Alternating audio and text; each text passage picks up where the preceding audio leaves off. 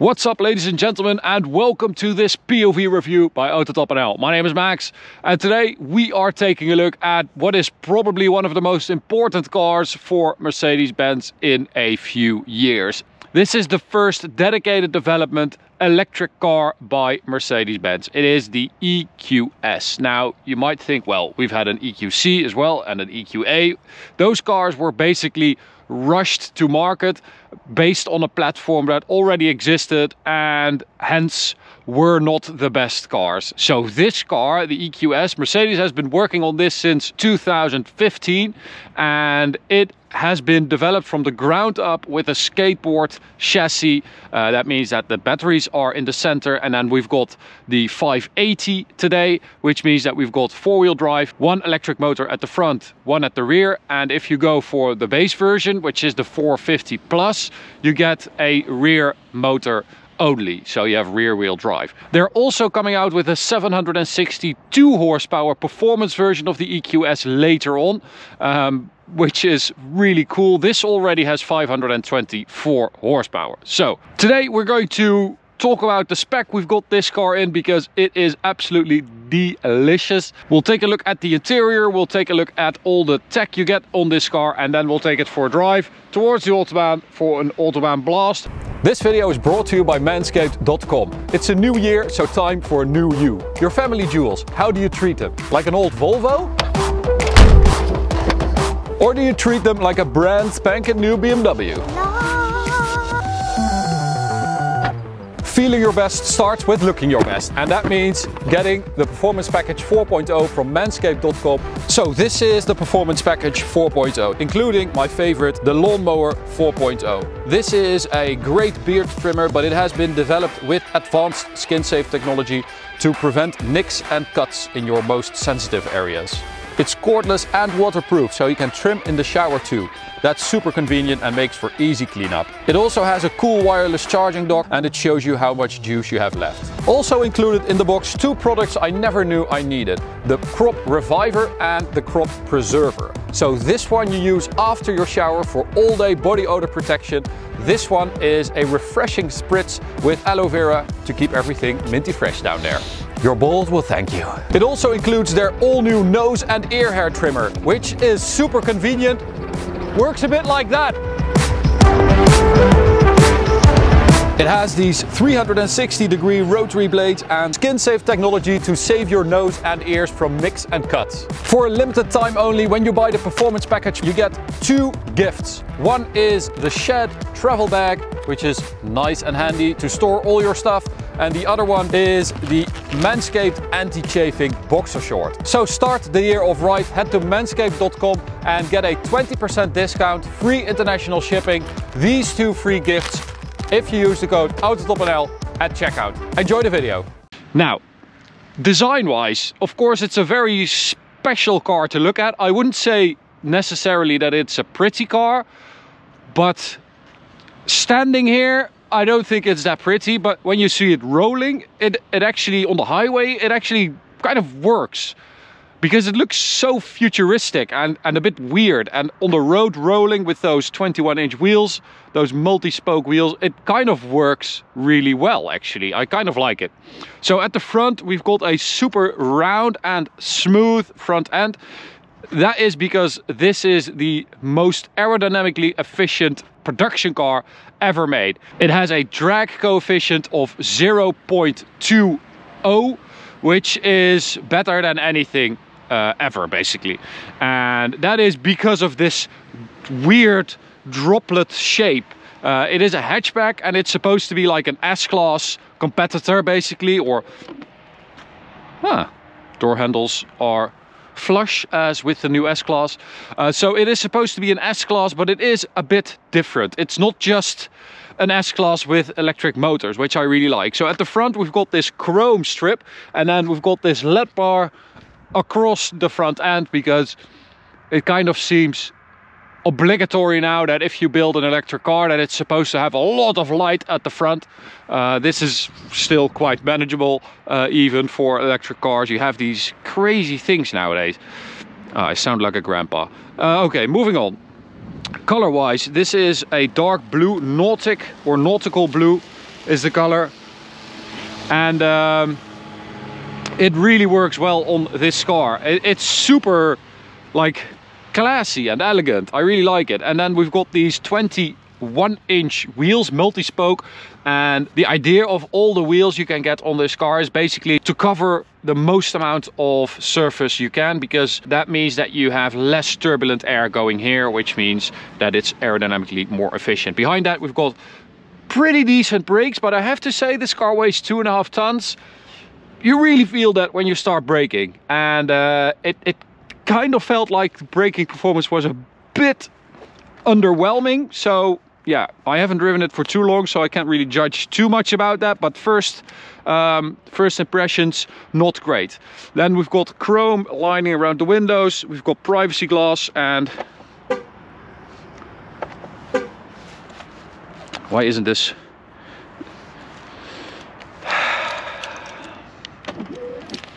There we go. Privacy glass.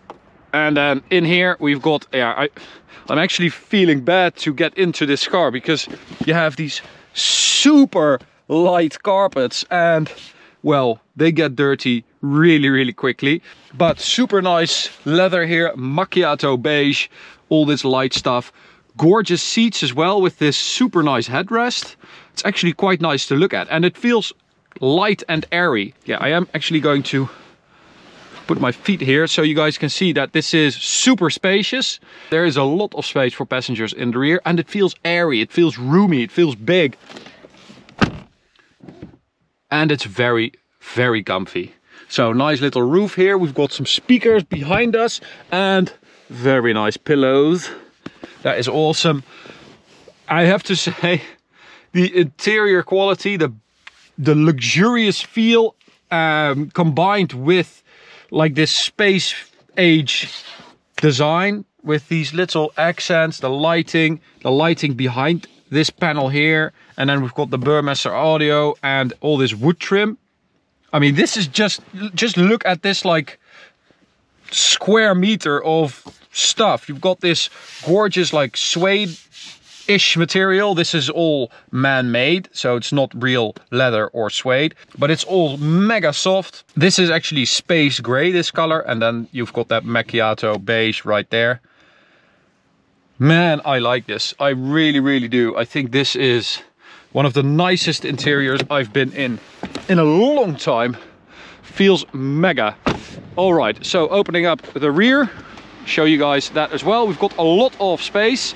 Because you have a hatchback, of course you can lower the rear seats as well and that means that you have even more all super light carpeting as well. And then the rear end as I said it is the most aerodynamically efficient car and that is mainly because of this droplet shape at the rear. Apparently you need a long car to have a car that is as aerodynamically efficient as possible. Beautiful rear lights as well with a light bar and these beautifully shaped light units.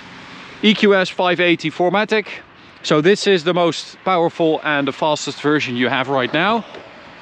And I'm wondering what's underneath the front. Can we open that? I don't think so.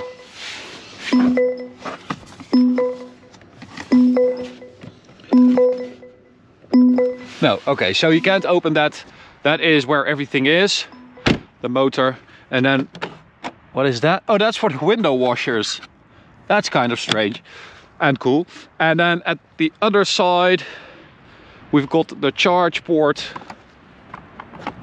right there. So uh, we've got a 108 kilowatt hour battery and then you can charge it up to 200 kilowatts at a fast charger.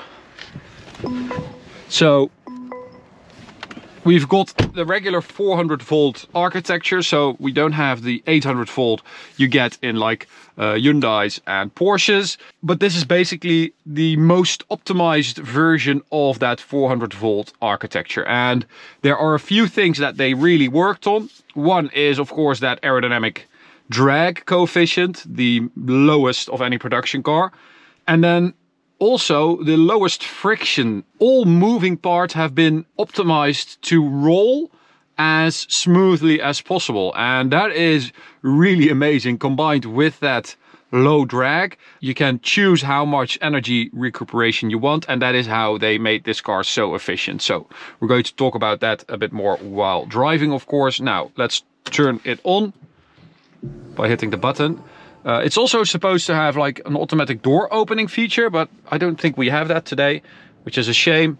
Okay, so this of course is very, very cool to see. Uh, it is called the Hyper Screen and it basically consists of three separate screens behind one big slab of glass. And it is made by LG and it is the most efficient it can be. So apparently white stuff on the screen, uh, that is the most energy consuming and so they designed everything to make it as efficient as possible. That is how far they've gone to make this car as efficient as possible, which is really cool. Now, you've got a screen right there, so if someone sits here, I don't know if I can fake that. I can, okay, so you can see that the passenger can do a lot of stuff as well with this touchscreen and he can operate basically anything that is in here as well. But when you don't have anyone next to you, you can't operate it. See, so that is super clever. The system, the MBUX system is still pretty okay. I don't really like the response of the touchscreen. It, it's a bit laggy sometimes and doesn't really work that well. Um, but we do have a lot of stuff in here and I wanted to show you guys. I don't know if he actually can hear this if the mic of the GoPro is picking this up.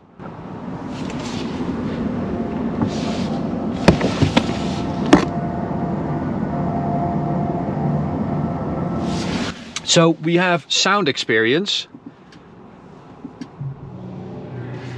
And you have three different versions. Every one has like a different feel. And there's like constantly a sound in the cabin. So it's different for each version and I really like it. I don't, it feels so futuristic. So we're going to, the Silver Waves one is not really great. The Vivid Flux is super awesome. And then you have Roaring Pulse, which is a bit more sporty. So I'm going to let you guys hear that. Um, we're going to do a couple of Dragy measurements as well. So the 0 to 100 we're going to do and the 100 to 200 later on as well. And uh, well, let's take it for a drive. Let's see what it feels like.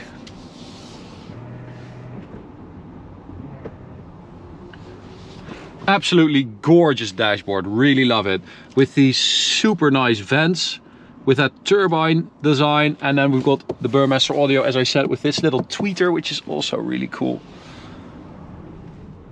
And it is one of the most silent cars I've ever been in. It is in insane. So there's a lot of sound deadening in this car. Um, for instance, of course in the interior, but also in the A-pillars. The tires have been shaped in a way that they are the most efficient and most silent they can be. Because you don't have engine sound, so you start hearing a lot of other stuff, like wind noise and tire noise. But this is amazing. All right, so let's do a 0 to 100 here, which gives me the opportunity to also let you hear what it sounds like, that, that sound experience.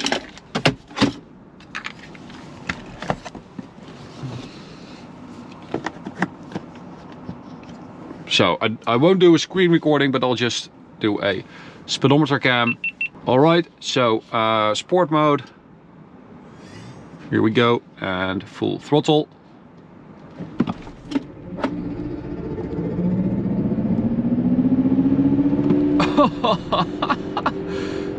Listen to that. That those noises. It sounds like something from from Blade Runner or Tron. I love it. I absolutely love it. I think it's so clever because the like it, it's so much better than the like fake sound stuff you get sometimes. That was a 4.16 second 0 to 100 and it's supposed to do 4.3 seconds. So that works out well, I would say. In these conditions, super wet and slippery.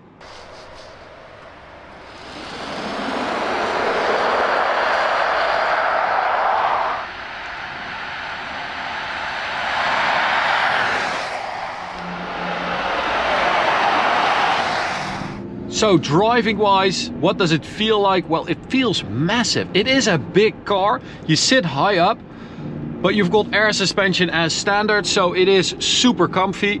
Uh, we've also got four-wheel steering up to four and a half degrees as standard, but we've got the extended optional 10 degrees, so that is a lot. And it is so comfy. It is so quiet and plush and soft and floaty.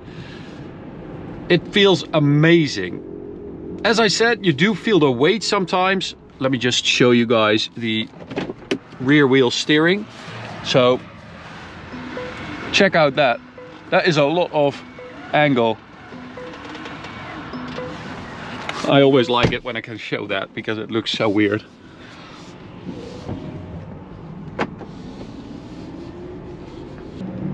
Now let's change to Roaring Pulse. So this is more uh, a deep and sporty sound. And it sounds a bit ominous. It sounds like the bad guy's spaceship and the vivid flux. This is the good guy, right? I really love that.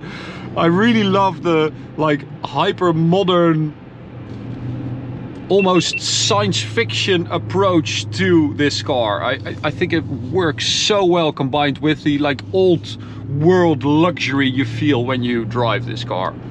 It's a very clever thing. It's a very, it, it works really well. But you can even also choose to have a like an old school dashboard. So this hyperscreen you don't have to have it, which I think is clever to also offer that. Now top speed is limited to 210 kilometers an hour.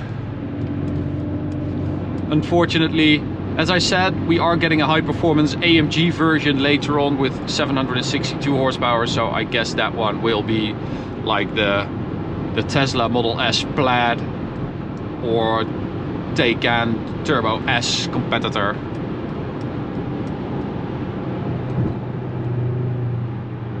But the range of this car is super impressive. So apparently you should be able to do like 770 kilometers on a charge. Which is a lot. And then under ideal circumstances you can also charge uh, like 300 kilometers of range in 15 minutes. So we are getting very close to just filling up your car in terms of time. Um, so that was a 11.5, 100 to 200. We're going to do that again.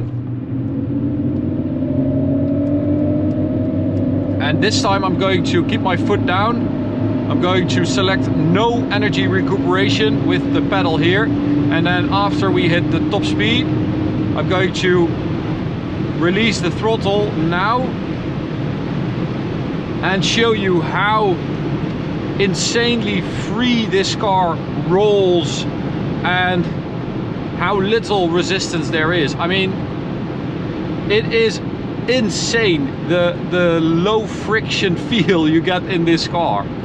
Uh, that was 11.3 second, 100 to 200 kilometers an hour. So it is a quick car. And I've done a couple of runs already and it doesn't seem to suffer from overheating too quickly. So that is good. So still, I, I released the throttle at 210 and we're still at 142 kilometers an hour. And that is like a couple of kilometers ago. It's really insane. I've never experienced this before. Now, uh, for instance, we're driving along and you're like, okay, this car is going to go left, so we want to slow down a little bit, but not too much. You hit the down pedal, it starts recuperating energy by slowing down. And then if you want this one, the third setting is basically one pedal drive. So when I release the throttle, it immediately brakes and recuperates energy. But I like this no recuperation thing. I like sailing because I think it's also the more efficient way to go because you're not wasting energy. And this car does it like no other. It is truly amazing to feel how well it still rolls. It just it just feels like it's it's so easy. I know I haven't talked too much about the whole MBUX system, but it, this is not too uh, groundbreaking. It, it's more like the interior design and the drivetrain, of course. Drivetrain feels amazing. It feels beefy, it feels strong. 524 horsepower is quite a bit, and with that 4MATIC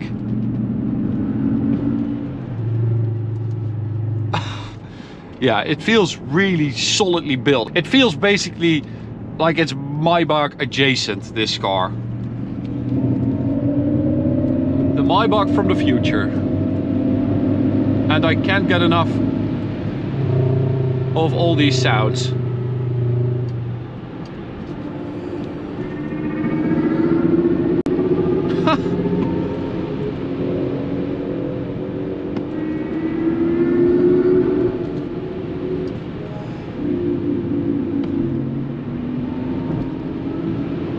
that is so cool. I absolutely love that. It is an incredible car. I'm not sure it's as groundbreaking as a regular S-Class usually is, uh, because tech-wise, drivetrain-wise, electric motor-wise, it's not really that groundbreaking. It's not new stuff. It's basically the things we already know executed in a very, very impressive way. And I really like that. It feels like this is a serious competitor to like all the established electric cars. While the EQC and the EQA it, it felt a bit like a half-assed attempt. And it felt like they, they were late to the party and decided to build a couple of electric cars. But this all feels amazing. All this open pore wood, all the, the faux leather basically, and this stuff.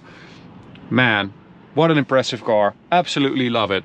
So that's it for this review. Hope you enjoyed it. You can subscribe by clicking the big button in the middle. You can also check out this video on the right or go check out this playlist on the left. See you at the next one. Bye.